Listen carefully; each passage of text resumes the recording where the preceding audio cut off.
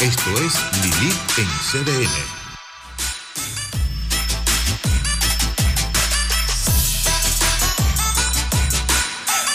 Buenas noches, amigas y amigos. Bienvenidos a este su espacio, Lilith en CDN, la casa de todos.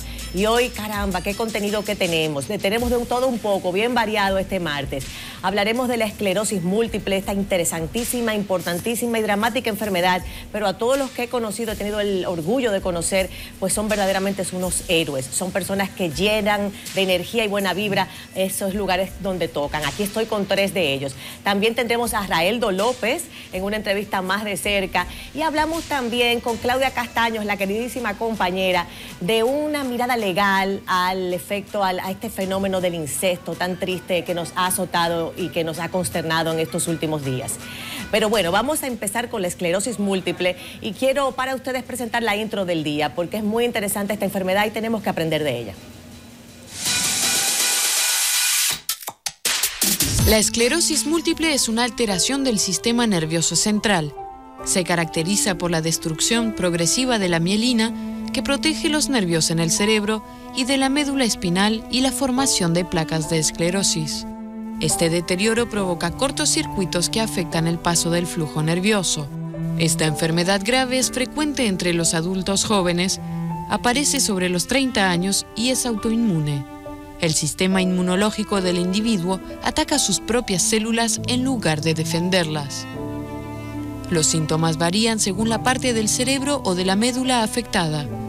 Pueden surgir problemas de motricidad, percepción sensorial o acuidad visual que dejan secuelas más o menos graves. Pero la enfermedad puede afectar casi todas las funciones biológicas. La esclerosis, crónica o de gravedad variable, evoluciona aleatoriamente con picos alternados, con remisiones, formas benignas y otras que pueden tender a invalidar a la persona. El 71% de los afectados son mujeres. En Francia, 80.000 personas la padecen, son 350.000 en Europa y 2 millones y medio en el mundo. Aunque todavía se desconocen las causas, se sospecha que intervienen factores ambientales, agentes infecciosos y componentes genéticos hereditarios. En cambio, se descartó la responsabilidad de la vacuna contra la hepatitis B, antes señalada los tratamientos que se usan actualmente disminuyen la frecuencia de los picos, pero no impiden que se instalen los síntomas ni la atrofia cerebral. Pero la esclerosis múltiple no es sinónimo de silla de ruedas. Puede permitir llevar una vida social normal y tampoco significa una disminución de la esperanza de vida.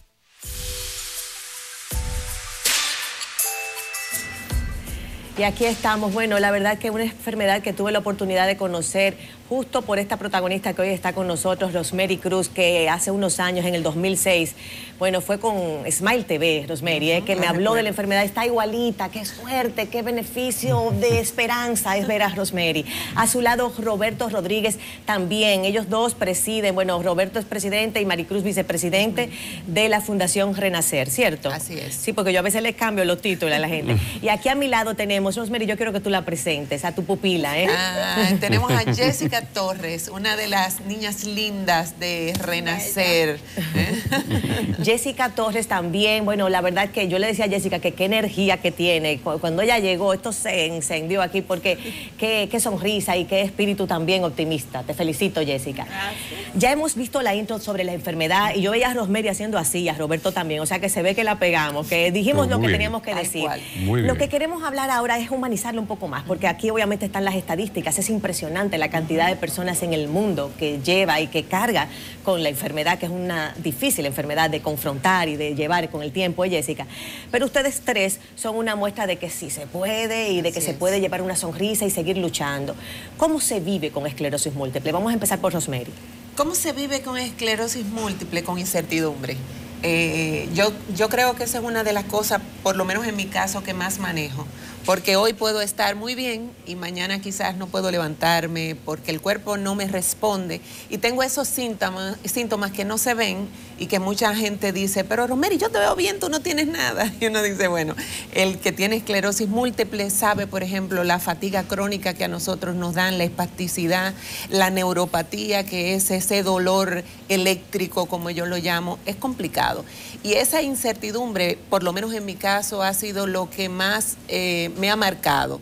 Eh, pero es a pesar de el entender que hay un mañana y que siempre se puede seguir adelante, aunque hay que resaltar que a veces cuesta. Que cuesta, es una enfermedad costosa. Y Roberto, sé también que tú has vivido la enfermedad. ¿Cuántos años, Rosemary, perdona, tienes tú con la enfermedad ya? 16 años. 16 años. Y Roberto, en tu caso... Yo tengo poco más de 25 años. 25 años. Y también, obviamente, estás eh, realmente tienes la enfermedad en control. Definitivamente. Eh, ¿Qué puedes decir sobre, sobre la misma y sobre el tratamiento? Eh, realmente ya yo pasé mis épocas eh, gracias a Dios eh, he reaccionado muy bien a los tratamientos actuales que hay, que esto fue lo que hizo que en cierto momento Rosemary y yo pensáramos, oye, uno ha tenido la oportunidad de medicarse a través de todo, porque lo más importante es eso, uno lograr medicarse antes de, de llegar a, tener problemas ya a la discapacidad. O sea, si la enfermedad, antes de que la enfermedad avance, si logras medicarte, puedes mantenerlo, como ha sido el caso de ustedes, en control, aunque tengan sus momentos de crisis. Ah, exacto, pero es importante destacar que hay diferentes tipos de esclerosis múltiple. Por ejemplo, en el caso de Roberto y mía es recaída remisión. O sea, tenemos crisis y después salimos de las crisis casi eh, sin ninguna lesión permanente. Hay otro tipo de esclerosis múltiple como progresiva o primaria, secundaria progresiva. Por ejemplo, Jessica, eh, esa es la que tiene, donde empieza una vez y ya continúa avanzando los síntomas y no hay una recuperación de algunas capacidades que se van perdiendo. El tratamiento para Jessica y, por ejemplo, que en el momento en que está Jessica de la enfermedad y en el caso de ustedes es el mismo o la dosis es más alta? ¿Cómo es Jessica? Eh, ellos usan tratamientos inyectados también, pero el mío es diferente. Eh, eh, son tratamientos, cada persona es diferente. Cada persona totalmente diferente. Qué bella, Dios mío. Entonces, cuéntame de Renacer, porque ustedes se, se conocen por la enfermedad, por ser ambos pacientes de la Así enfermedad. Es. Y dicen, bueno, vamos a ayudar a más gente. Esto es difícil, porque tú decías, eh, Rosemary, que es costoso el tratamiento. Totalmente costoso. Hay varias cosas que es importante destacar. Nosotros no estamos dentro de las enfermedades de alto costo dentro de la seguridad, del catálogo de la seguridad social. No somos considerados una enfermedad de alto costo y lo somos. Y es uno de los grandes desafíos que nosotros seguimos teniendo como fundación. Entonces, estamos hablando de que un medicamento, por ejemplo, el que yo uso, cuesta 3 eh, mil dólares eh, mensuales de por vida. Entonces, ¿qué bolsillo puede manejar eso? Claro. ¿Cómo nosotros nos manejamos y qué es lo que está respondiéndonos a nosotros este tema de salud, que es un derecho fundamental? Es que muchos de los medicamentos, y por mucho que ha evolucionado, la Dirección de Enfermedades de Alto Costo están respondiendo y atendiendo el requerimiento nuestro de tratamiento, pero eso es una solución que aplaudimos y reconocemos, pero no es sostenible en el tiempo porque cada vez somos más los pacientes de esclerosis ¿Cuántos hay más o menos en el país? ¿Hay alguna cifra, por lo menos nosotros eh, tenemos registrada en la fundación aproximadamente 300, 325 y calculamos que en el país deben haber aproximadamente 500, 500, 500 600, máximo. pero es un, es un, buen, es un número, un número grande. Y, me señalaba, Roberto, que hay muchos jóvenes en este número. hay muchos jóvenes. Ahora, realmente la edad promedio ha ido lamentablemente cada día menor. Eh, bueno, cuando a mí me diagnosticaron, estábamos hablando que la edad promedio era entre 30 y 40 años. Ahora nosotros tenemos pacientes hasta de menos de 10 años. Hemos notado pacientes. Tenemos, o sea, yo diría que ahora mismo la edad promedio debe andar por los 20 años. ¿Y se relaciona con la comida, aparte de los asuntos hereditarios o genéticos o no? Bueno, definitivamente eh, una alimentación balanceada y correcta le hace bien a cualquier persona. Eh, yo creo que lo más importante es mantener tu cuerpo y tu organismo lo más eh, sano posible pero no hay, no, hay ninguna relación, directa. No, hay relación directa con, con, la comida ni con... Cuéntenme de Da la vuelta por mí, que me encanta. Y el logo, bueno, como tienen el t-shirtcito ahí, lo pueden enseñar. Es importante que lo vean. ¿Verdad que sí? Sí, qué lindo, qué lindo. Da la vuelta por mí. Es una invitación que hacemos para el 20 de octubre a partir de las 9 de, la mañana en el Parque Iberoamericano, de 9 a 1. ¿De qué se trata Da la vuelta por mí? Nosotros queremos hacer visible lo invisible. Muchos de los síntomas que vivimos y que a veces nos llevan a discapacidad no se ven.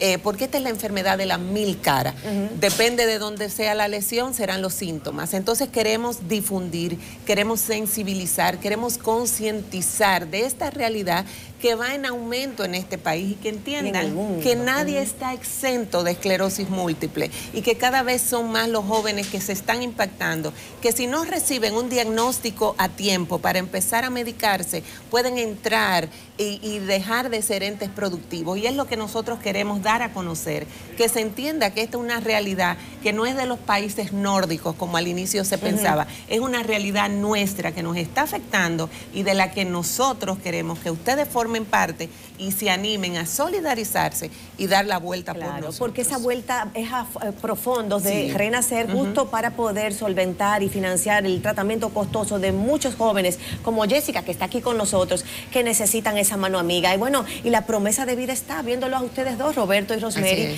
de que verdaderamente ya tú ves Jessica que todo es posible para el que tiene fe. ¿qué le dices tú a los jóvenes? tú que como escuchas a Roberto señalar hay tantos jóvenes que, están como tú en una situación como esta.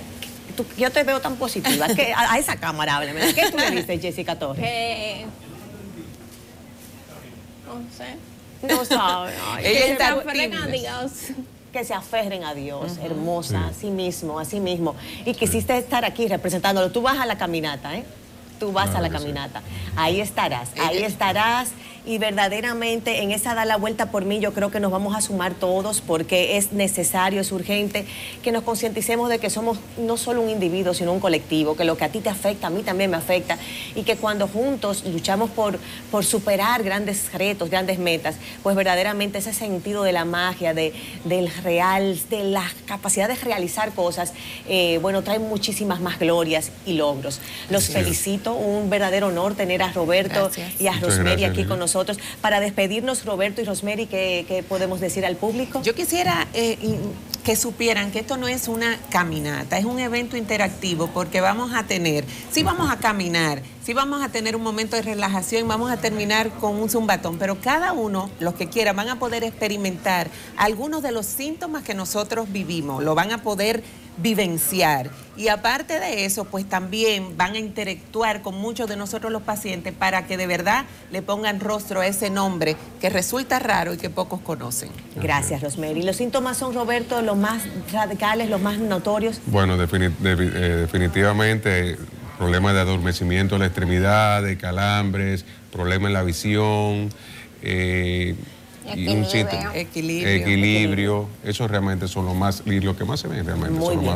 Entonces llamamos de nuevo a la cita, es el día 20 de octubre a las 9 de la mañana en el Parque Iberoamericano. Las boletas están en tuboleta.com y también en Renacer, Fundación Dominicana de Tuboleta.com.de. Punto de. Pues vaya, compre su boleta, no pierda más tiempo, que no hay tiempo que perder y de verdaderamente vamos todos a apoyar la esclerosis múltiple y esta hermosísima obra que hace la Fundación Renacer.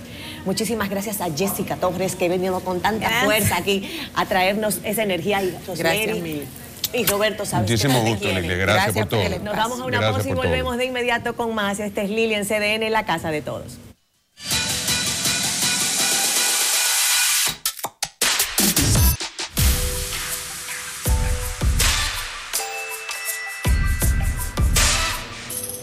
Y qué contenta que estoy. Es un tema denso, es un tema triste y que nos ha consternado a todos porque, bueno, noticias de incesto en el país son comunes y recientemente el caso de, la, de Pablo Ross también, por supuesto, a todos nos consternó.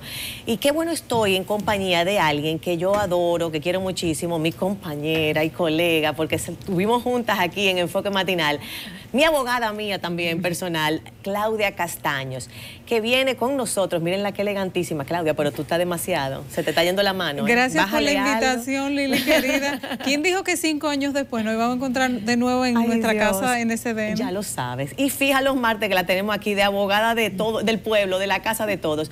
Claudia vino a tratar con nosotros hoy una mirada legal al incesto. Y verdaderamente, óyeme, eh, cuando uno oye esa palabra, incesto, es muy fuerte. El tema es muy, muy duro de tratarlo desde el punto de vista académico, desde el punto de vista social, desde el punto de vista incluso en los medios de comunicación. Uno tiene que tener mucho cuidado eh, manejando el tema para que no se catalogue como que lo estamos hablando por un caso en particular. Sin embargo, como conversábamos fuera de cámara, establecía el periódico El Día que en el último año se han duplicado las denuncias de incesto a nivel nacional.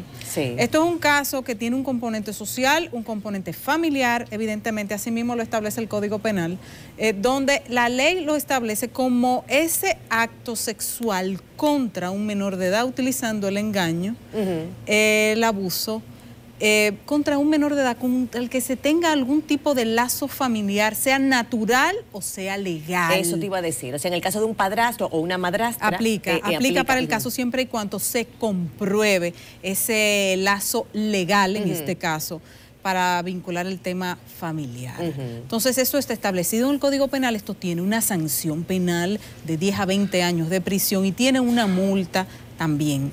Entonces, ¿qué pasa con esto dentro de la parte legal? Recuerden que son temas, los temas penales tienen elementos que, tienen que ver con las personas. O sea, tú no estás hablando aquí ni de un contrato, ni de un cobro que tú estás haciendo, tú estás hablando de la vida de seres humanos que se ven afectados, y en este caso de menores. Es un caso que hay que tener mucho cuidado cómo se maneja, cómo se explica, cómo se trata, porque al final ¿Qué es lo, que más hay que cuidar? El interés superior del menor.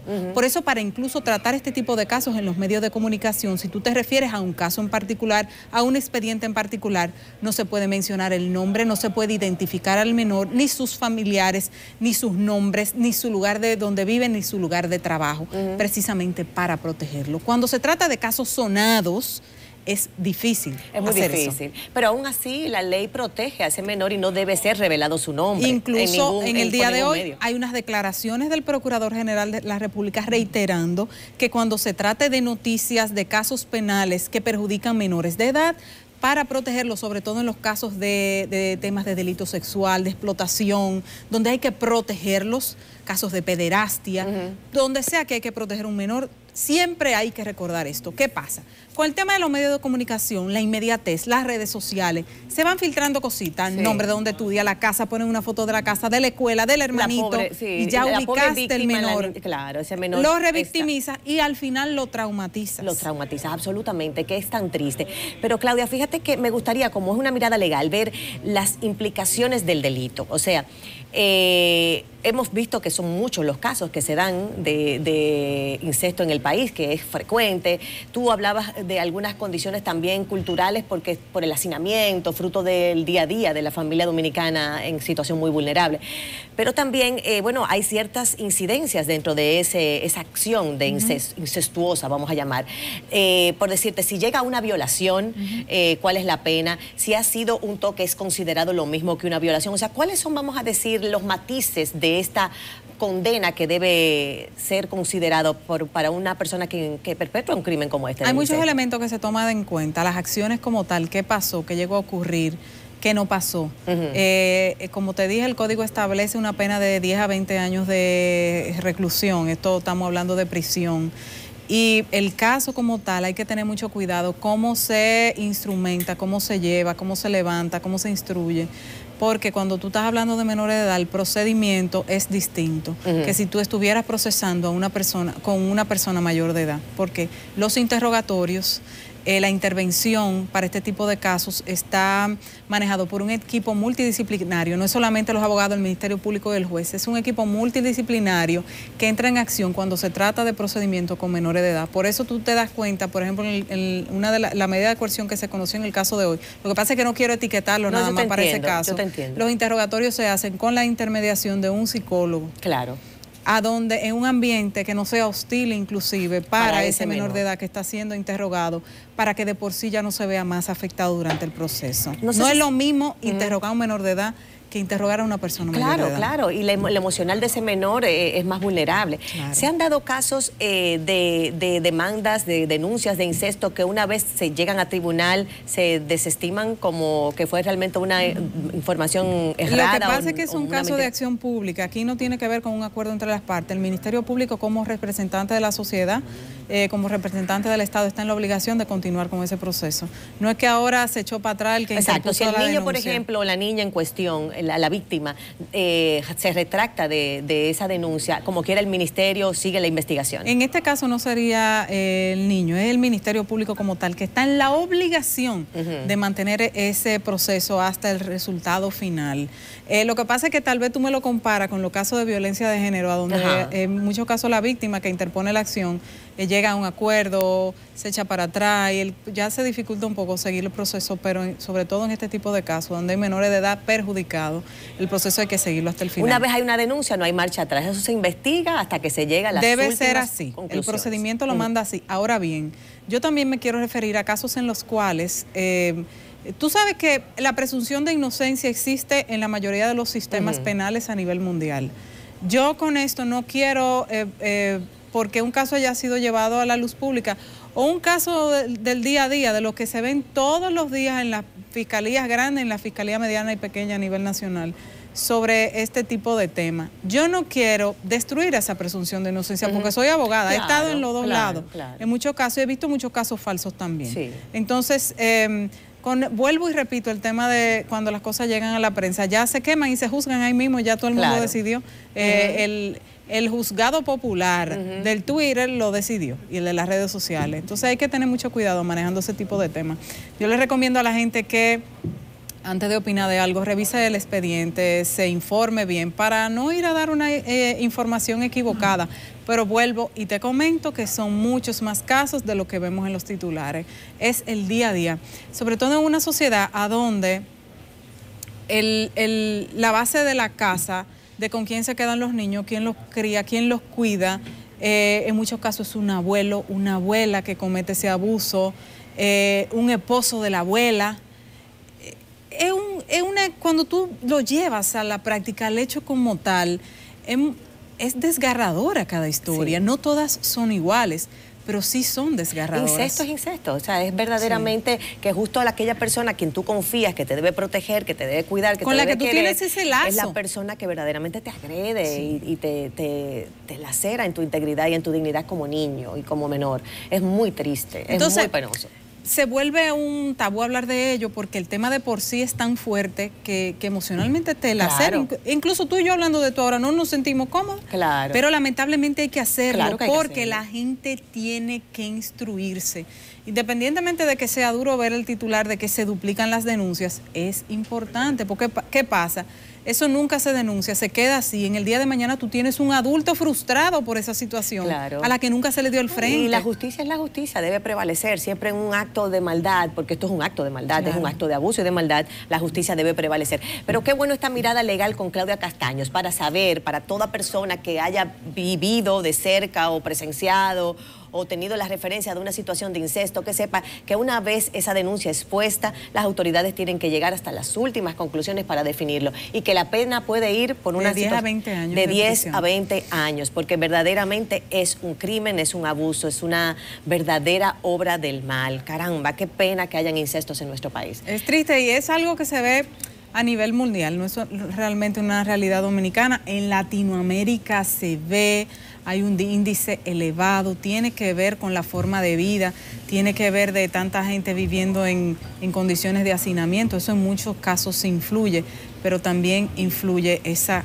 condición humana que de casos que a veces tú no tienes ni siquiera cómo explicarlo, pero tiene su consecuencia. Tiene las consecuencias. Es importante que el, Mira cómo el dominicano con el paso del tiempo se va informando y se va educando y hace la denuncia.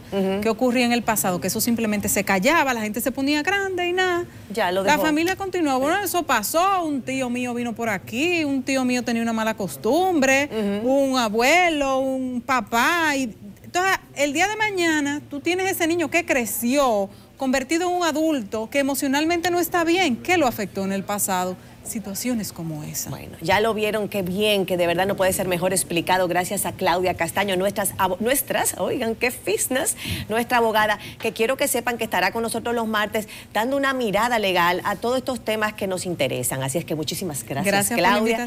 y a ustedes por la sintonía. Seguimos de nuevo, así es que mantenga usted la sintonía porque volvemos con una entrevista muy especial a Raeldo, ya lo sabe, Raeldo López. Estoy con carácter. ¿Cómo están? ¿Cómo están? ¿Cómo, cómo, cómo, cómo están? ¿Cómo es? Señores, así sí que uno no, así sí es verdad que bueno. Raeldo López. Pero ¿y por qué así? ¿Es con beso? sí, sí, sí, sí. sí.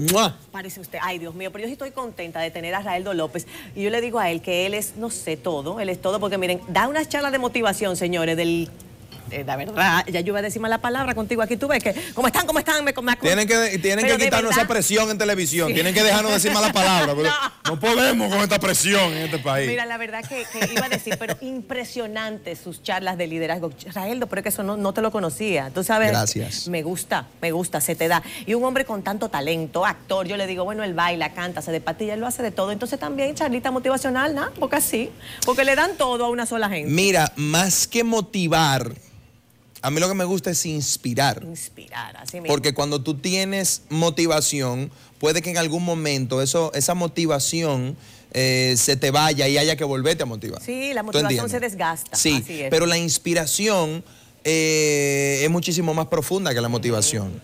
La motivación surge como del espíritu, del alma, de la pasión. La inspiración. Entonces, eh, más que quizás motivar, yo invito a la gente a que se inspire.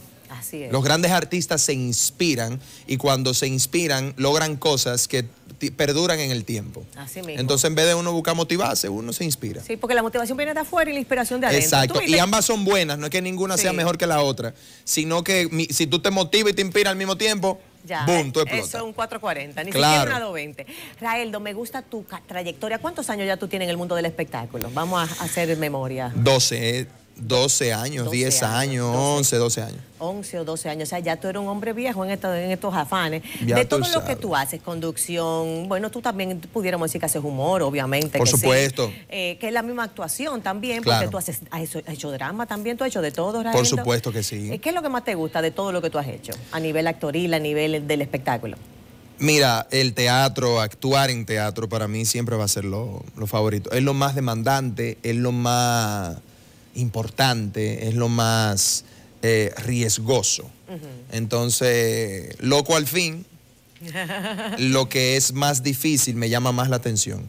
Y el teatro es muchísimo más complejo que cualquier otra cosa que yo haya hecho. Tú sientes que tienes que desnudarte ahí, o sea, salió lo que es. De hecho, hasta me he desnudado. Sí, lo hemos sabido. Literalmente. o sea que ya no hay nada por hacer. Exacto. Eh, no, queda muchísimo, muchísimo por hacer, pero el teatro, el teatro es lo más complejo y, lo más demandante que yo he hecho porque me da un pavor y un miedo terrible cada vez que tengo que salir a escena.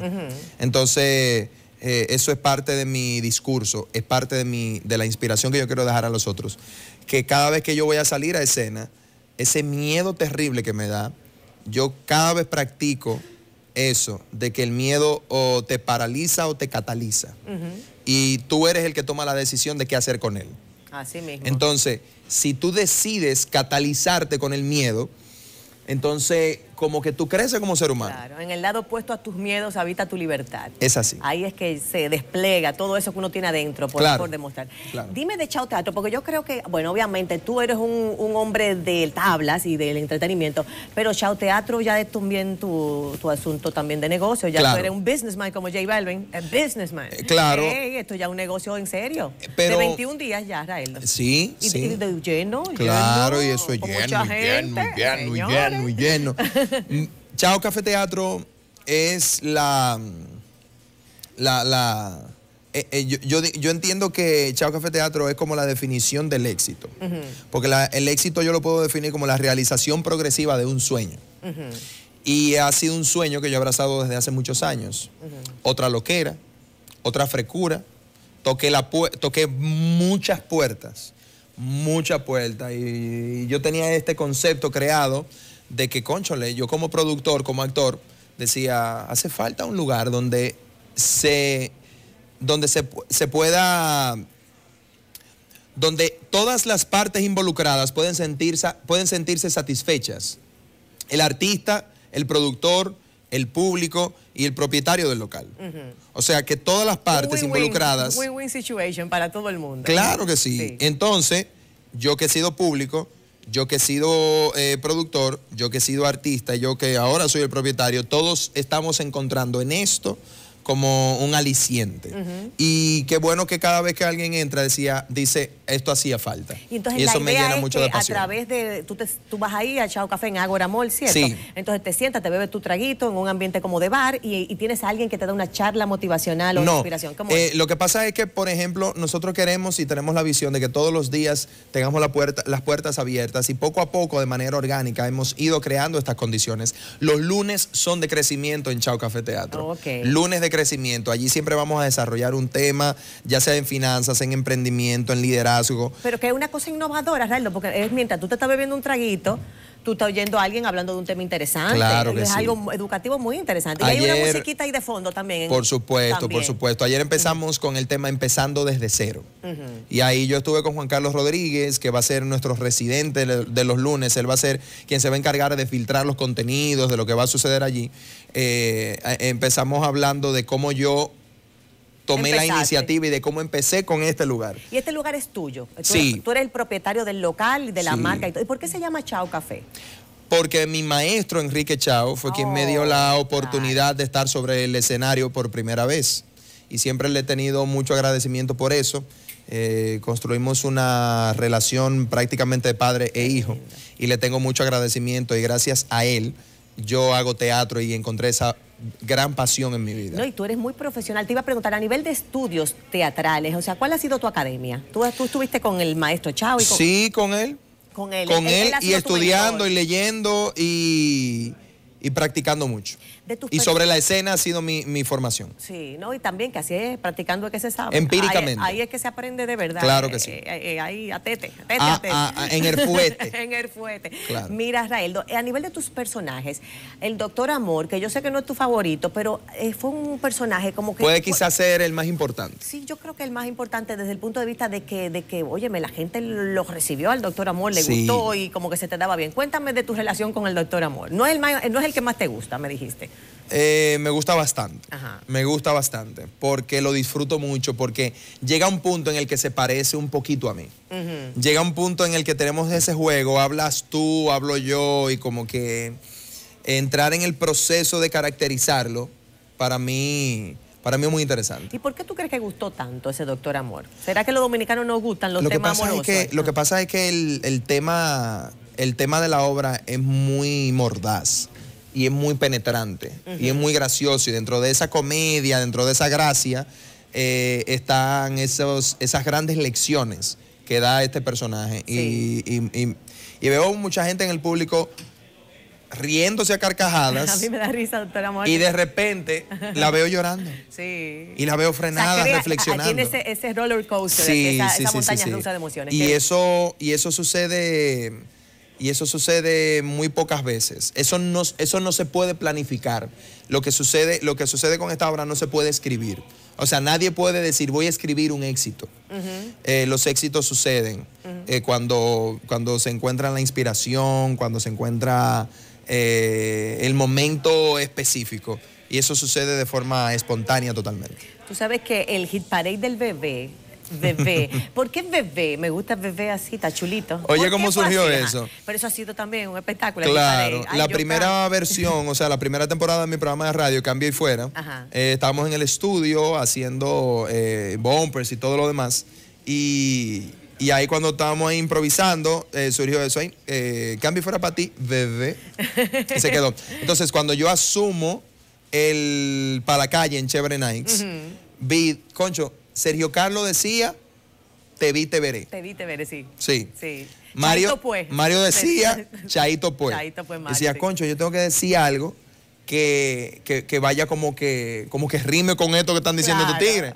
Y ahí fue que se me ocurrió reutilizar la frase, cambio fuera, Bebé. Y bebé es lo que más se ha pegado. Exacto. Y el hit parade, cuéntame eso, ¿cuántos hit parade ya tú has hecho? Eso, eso es una tendencia eh, fuerte. No sé, imagínate tú, uno semanal, cuatro al mes, hay meses que tienen cinco, desde hace casi un año. Eso en tu canal de YouTube, ¿cierto? Sí. Sí, entonces, de todos estos hit parade que tú has hecho, ¿cuál ha sido el que más tú recuerdas, el que te dio más risa? Eh, ¿Cuál ha sido la experiencia más eh, memorable? Es que cada uno es como diferente. Sí. Y cada uno tiene su cosa. Entonces, como es algo espontáneo totalmente. Por ejemplo, el de el de el que, el que hice con Javier. Javier y yo hacemos una química demasiado y ya graciosa. tabla juntos. Claro. el que hice con Luis José Germán, eh, el que, ay, iba a decir el que sale este jueves. No, eh, pero todos. Pero di cuál es el que sale este jueves porque ya, ya estamos No, aquí, porque es una que- sorpresa. Una, ajá. Sí, a mí no me gusta decir quién es. Pero va a tener que decirlo porque estamos en un canal de noticias. Hoy es martes, eso viene el jueves, ya usted va a tener que decirlo. Lo que pasa es que yo Ah, hago una dinámica ah, de pues que la gente, el que adivine quién es, yo le regalo boletas para Ah, no, no, no, ah, pues está bien. No, no, que esa yo no la sabía, fue sin querer. Mira, tú sabes que a mí me llamó la atención mucho una frase que tú usaste. Mira, te la voy a, a citar. El atolondrado sistema de colocación publicitaria en medios. Claro. Oye, esa es una frase filosófica. ¿Qué opinas de eso? ¿Por qué? ¿Por qué dices atolondrado? Me interesa porque de verdad me Porque- llamó mucho la atención. Lo atolondrado es como que tú, como que tienes, como que no. ¿Qué? Tú, tú, tú no tienes ni pie ni cabeza, ¿tú entiendes? Entonces, como que tú entiendes que desde la perspectiva del productor y de público, las cosas que quizás merecen el apoyo no los reciben. Entonces, eh, y, te, lo- y te lo digo esto con, con mucho, con mucho respeto a las agencias que, que son eh, parte importante de nuestro negocio. ¿no? Y que tú eres un, un, un- Claro que sí. muy potable, y, muy, y muy trabajo amado mucho con la las marcas y todo, y todo lo demás. Eh, pero yo entiendo que hay demasiada, demasiada oferta. En nuestro país hay, dema- hay demasiada oferta. Somos un mercado muy pequeño y, el, y el pastel se, se reparte de pedacitos muy cortos para, mu- para, para mucha gente. Claro. Y entiendo que quizás las cosas pueden manejarse mejor y yo tengo la esperanza y sé que las cosas van a empezar a mejorarse mejor. Van a haber políticas eh, muchísimo más estrictas para ver quién puede hablar por un medio, quién no puede hablar por un medio, cuáles son los contenidos que le conviene a un pueblo, porque nos está viendo una innumerable cantidad de gente que se siente influenciada por lo que nosotros decimos. Y, y como nosotros tenemos la bendición y la responsabilidad de hablar por un micrófono a través de una cámara, quizás eh, mucha gente no está ejecutando esa responsabilidad De la eh, de, la, de la forma correcta. Y si reciben apoyo publicitario, lo van a seguir haciendo. Claro, claro que sí. Entonces, un programa como Chévere Nights, un programa como Qué Chévere Saber. Como pro- Lili en CD. como Lili en CDN, eh, este tipo de conversaciones donde hablamos de motivación, de inspiración, eh, quizás a ellos no les resulta muy atractivo porque la gente quizás está pendiente a otra cosa. Entonces eso es delicado. Entonces yo entiendo que eso es muy atolondrado. Eh, hay que darle apoyo a lo que de verdad lo merece. Porque eh, hablando en conversaciones con marcas importantes, me comentaron que ellos ponen su dinero donde está la masa. Y lamentablemente la masa no piensa. Por eso es masa. Por eso se generan pensamientos en masa. Por eso mucha gente dice que a Aljona no le gusta, pero no le gusta a Aljona no es porque no le gusta a Aljona, es porque oyó que a otro no le gusta. Claro. ¿Tú entiendes? Claro. Entonces, ¿por qué no te gusta Aljona? Ah, porque, porque que, y opina lo que opina el otro. Claro. ¿Tú entiendes? Entonces yo entiendo que aquí hay muchas cosas que revisar, muchas prioridades que revisar. Y yo prefiero que lo dejemos ahí porque ahorita bien, la te gente lo malinterpreta. Sí, no, no, pero te entiendo. Y es, es importante, yo creo que haces un llamado responsable. Y ya tú eres un, un hombre de- ya serio en esto, de 12 años en la industria, que tu opinión cuenta, carajo. Además, está bien dicha la frase. Gracias. Atolondrado sistema de colocación publicitaria en medios. Me Claro, claro que sí. Los López de Moya. no solamente ¿eh? por eso, sino porque cuando tú vas a vender tus productos, el que, al que tú le estás vendiendo ni te conoce. Sí. Entonces, pero ¿qué te voy a vender si tú ni siquiera sabes de lo que estamos hablando? Entonces, hay, hay mucha gente idiota con poder. Ay, ay, ay, ay, ay. Bueno, el hombre está contundente. Vaya Mucha gente- Café. mucha gente Dime, idiota di- con vamos poder. allá a cambiar, ponerlo más ligerito, que nos estamos ya casi despidiendo. Dime de los de Moya, López, López de de- Moya. Bueno. Señores, qué, qué parejita linda, qué familia Gracias. bella, qué lindo tu hijo. Me Gracias. encanta tu hijo. Dime de tu bebé y de tu esposa, cuéntame de ellos. Mm, mi proyecto más importante. Lo hemos visto. Sí, eh, la familia es el núcleo de la sociedad y lo que sucede en la sociedad es porque está sucediendo en la familia. Lamentablemente yo quiero eh, ser un ejemplo de familia. Claro, pero no lamentable, grande. No, no, porque es que, te digo lamentable porque es que a mí no me toca. Sí. A mí me toca vivir con mi familia tranquilo y ya. Pero tenemos que echarnos eso al hombro. Sí. Y quisimos echarnos esa responsabilidad al hombro. Esto es una familia, esto debe ser una familia. Claro. Y nosotros tenemos que ser responsables con la familia y tenemos que tirar el amor para el aire. Y tenemos que tirar la unión para el aire y la efectividad. Y no somos perfectos, queremos y todos los días tenemos nuestras propias batallas. Pero óyeme, eh, está compleja la situación. Está compleja. Entonces, por eso en la familia es tu refugio. Cuando tú llegas ahí, a, es Altani, Altani López de Moya, ahí ya todo, todos los problemas se te olvidan. Lo más importante. ¿Cuánto tiempo tienes de casado ya, Raeldo? Ocho años. Ah, pero ya es un matrimonio viejo. ¿Y tu bebé qué edad tiene ya? Siete. Siete. Esa es una chulería. ¿Tú lo, lo, vas a meter en el ambiente artístico? Porque bueno, él, él ya asumió la responsabilidad de estar conmigo en peligro. Es Navidad, la obra que vamos a estar produciendo en Chao Café Teatro en Navidad eh, para toda la familia. Oye, yo quiero ir en un día a Chao Café Teatro a dar una charla motivacional, entonces tú vas a venir un día a hacerme como una especie de una dinámica divertida. Vamos lo que a tener tú quieras. un intercambio de, servicios artísticos. Lo que tú quieras. Eh, ya lo sabe, la cita está. Voy a ir a Chao y él va a venir para acá. ¿Le parece bien ese intercambio? Ese intercambio está bueno. A mí me gusta. Raeldo, te quiero, te un Honor. Otro beso grandísimo, señores. Cuánto talento. Cuando uno ve muchachos como Raeldo, que ya no están muchachos, Raeldo, que se sepa, eh, que ya es un hombre serio ensacado, pero qué emoción, cuánto nos gusta ver que verdaderamente aquí hay mucho talento, talento para exportar, talento para dar, para multiplicar y para disfrutar. Esto fue Lili SDN, la casa de todos en el día de hoy. Mañana será otro día y los esperamos. De nuevo, de verdad.